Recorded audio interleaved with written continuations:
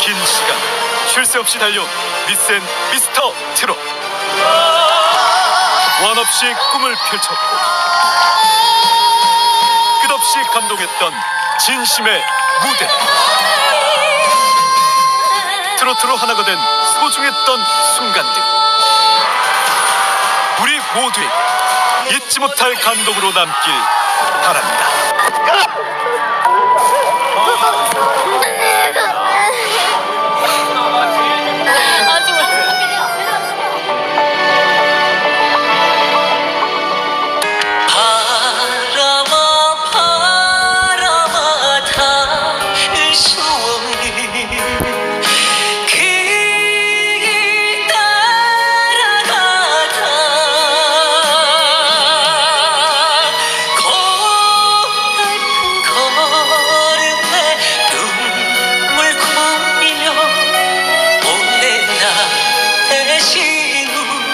쳐다보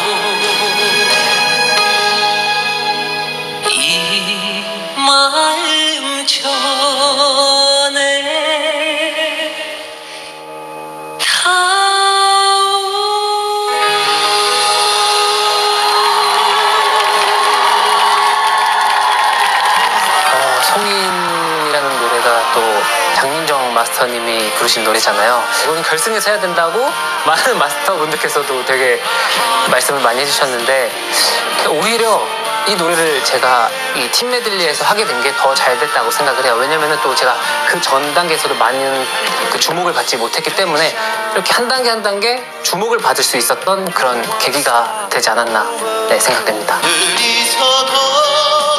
정말 그냥 트로트라는 거는 인생을 배운다?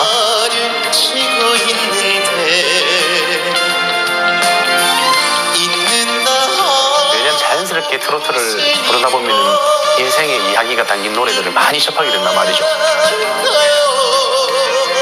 인생의 길? 뭐 이렇게 말씀드려도 과언이 아니만큼 제게는 좀 소중한 어, 그런 선물인 것 같아요.